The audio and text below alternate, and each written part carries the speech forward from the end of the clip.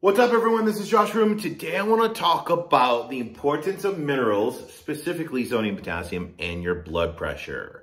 But before we jump in, as always, please like this video, show us a little support, and hit that notification button and subscription button so every single Wednesday when we put out a video, you get notified.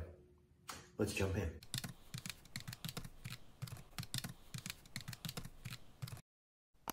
So here's the thing.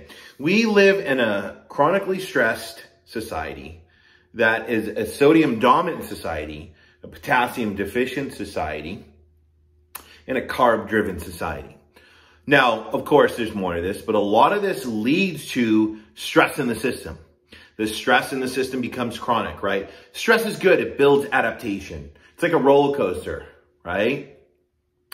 We should be stressed, but we should be able to get off that roller coaster and regulate. The problem is we're always here right? Everyone is always here. This is why we're seeing so much illness and sickness and sleep issues and hormonals and infertility and immune system issues in our society. It's getting worse and worse by the day, right? Stress isn't bad. I'm not saying live in a bubble, but we need to build resiliency and live in a way that allows our body to go here, but come back down and rebuild. It's like you spend money in your life, but you also work so you can replenish that money and save money, right? That's how we need to live. So here's the thing, chronic stress, and we're always here, that stimulates the sympathetic adrenal medullary system, sympathetic system, just sounds cooler, um, which causes the production of renin and the stimulation of angiotensin 2 and aldosterone. This is a problem because you don't want to always be here because our cells naturally want to push out sodium and pull in potassium.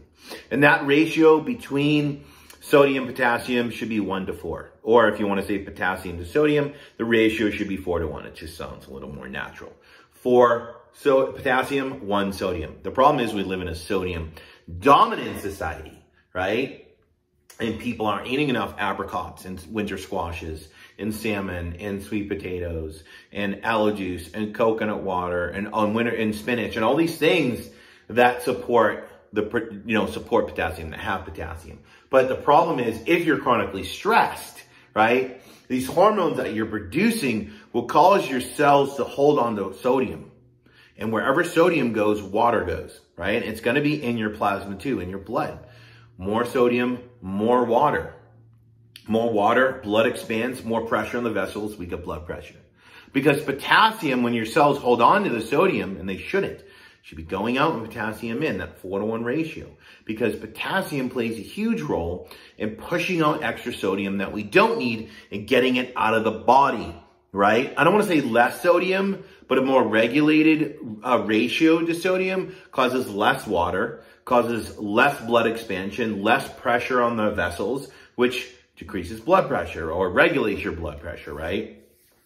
Now, of course, there's so many other factors, right? We could talk about the nervous system and the thyroid, but I'm just giving you the general picture of what's going on because you could apply this to people with thyroid issues. You could apply this to people that are locked in dorsal vagal or sympathetic. It's all one and the same what is happening within the system, right? So when we're chronically stressed, we produce these, horm these hormones, aldosterone, which cause our cells to hold on to too much sodium, which they don't want to, and lose too much potassium and other minerals right? What happens is water follows, that causes expansion, that causes pressure on the vessels, that causes, because our blood's expanding, causes increased blood pressure, but we don't have the potassium there because we're losing it to get rid of that sodium. It's a protective mechanism. So I know I say use aloe juice and coconut water and sweet potatoes and salmon and spinach and pumpkin and winter squash and apricots, all your potassium rich foods, which we need more of. But the problem is this, if you're still in a chronically stressed state, it's not going to do much, right? Because you're still losing so, uh, potassium and you're still holding on to too much sodium, right? And as I said, the equation is it's chronic stress plus a sodium driven society, right? Um, and a carb driven society, which plays a role in this as well. So what we need to do is look at what we're eating, maybe eat less box food, less canned food, and not focus so much on the sodium if you're in this health arena, right? We're always like, eat sea salt. Well, that is great, but there's a lot of people that eat sea salt, and they're very salt sensitive, which really means potassium deficient, and they get a lot of swelling. It's because they don't have enough potassium to push out all that excess sodium. So I don't agree that initially the focus should be sodium, right? Salting your food, putting salt in your water. I don't agree with that Why? Because people are, are, have already too much sodium in the system and they don't have enough potassium to regulate that. What I do think needs to happen is we need to look at how we're living and how we're eating to support our body differently, to get it out of this stress state so we can build resiliency. So our cells begin to push out more sodium and pull in more potassium. That'll help us get rid of all that extra water, all that extra sodium right? As we do that, we bring in things like the adrenal cocktail, the coconut water, the aloe juice, all those potassium rich foods to replenish now that we've stopped the stress response and we stopped the chelation. So we replenish. So the potassium, in my opinion, plus regulating how we're living and eating is the most important thing when you talk about blood pressure. It is the, or any, really, this could be applied to anything, not just blood pressure. Um, just regulating stress within our physiology. But potassium is the most important thing beside reducing that stress, right? Because it's going to help you with the sodium. And once you start to see those potassium levels rise, you're going to be less sodium, uh, salt sensitive, sodium sensitive and you can start maybe using mineral drops or sea salt on your food or putting it in your water or putting it in your, uh, your adrenal cocktail. But the first thing is change how you're living, change how you're eating to support your body, to get your, that sodium potassium pump to regulate, right? So you can pull in more potassium, get rid of some of the sodium, get rid of some of the water, decrease the amount of blood volume, decrease the pressure in the arteries, lower your blood pressure, bring in the potassium rich foods, and you'll be good to go.